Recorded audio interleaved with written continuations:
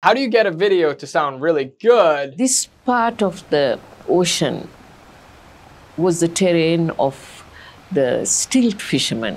And make it feel authentic. And it's like a meditative process, I think. I met with the owner of Barberyn Waves. The moment I listened to her speak, I was like, lady, there's nothing for you also to be discontent about. Your voice needs to be the voice of Barberyn. So how we approached each property was with Barberyn Waves. I filmed it with the Atlas Anamorphic 40 millimeter completely throughout the film. And I used a bit of my FPV drone. I was able to shoot the actor kind of you know, admiring the stilt fisherman in Weligama, because that's what Weligama is known for stilt fishermen. We were able to capture all the essential parts of Barberyn Waves in a short amount of time and really let the audience experience what it would have looked like or felt like to be at Barberyn Waves. One of my favorite shots from this entire shoot was the fact that the peacocks were just super friendly and they didn't care that I had a gimbal and a camera really up close to them.